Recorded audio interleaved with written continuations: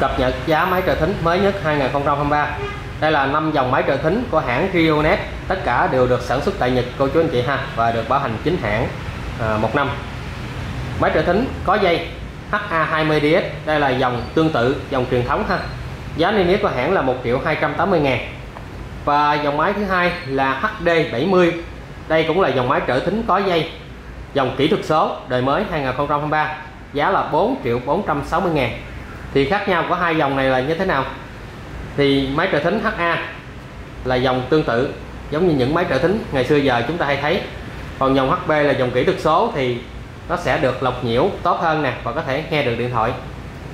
Thì Hoàng Sơn có những video chi tiết, cô chú anh chị mình có thể liên hệ trực tiếp Hoàng Sơn hoặc là xem thêm trên kênh sức khỏe 60 giây trước khi lựa chọn một trong hai dòng máy này. Dòng máy trợ thính thứ hai, đó là dòng máy trợ thính không dây HB23B đây là dòng máy trợ thính tương tự ha. Nó cỡ ngón tay út gắn trên bàn tay. Giá niêm yết của hãng là 2 triệu 150 ngàn. Và dòng máy trợ thính không dây, kỹ thuật số là 6 triệu 600 ngàn. Dòng kỹ thuật số thì chúng ta cũng có thể lọc nhiễu tốt hơn, âm thanh lớn hơn và có chức năng nghe điện thoại. Bên cạnh đó, chúng ta sẽ có một cái dòng siêu nhỏ là 3 triệu 700 ngàn. Đây là dòng kỹ thuật số siêu nhỏ. HM06 thì cô chú anh chị mình có thể xem thêm các video hoặc là gọi điện cho Hoàng Sơn nha. Chúng ta bây giờ sẽ thử khui máy.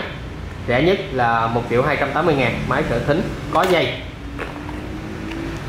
Đây là dòng tương tự cô chú anh chị ha. Nó xài một viên pin 2A và một cái dây đi kèm. Rồi, cái dòng máy trợ thính có dây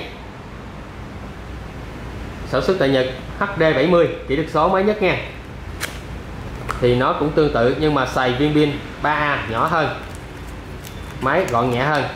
Và có chức năng là nghe điện thoại và lọc nhiễu rất là tốt. Công suất sẽ lớn hơn cái dòng máy trợ thính à, tương tự ha. Dòng tiếp theo là máy trợ thính không dây. Dòng tương tự đầy đầy đài đầu ha là 2 triệu 150 ngàn. HB 23B dòng đời đầu 2 triệu 150 ngàn. Bảo hành 1 năm. À, máy trợ thính cỡ ngón tay út ha. À, gắn trên bàn tay. Xài pin 13 nha. Rồi dòng máy trợ thính không dây.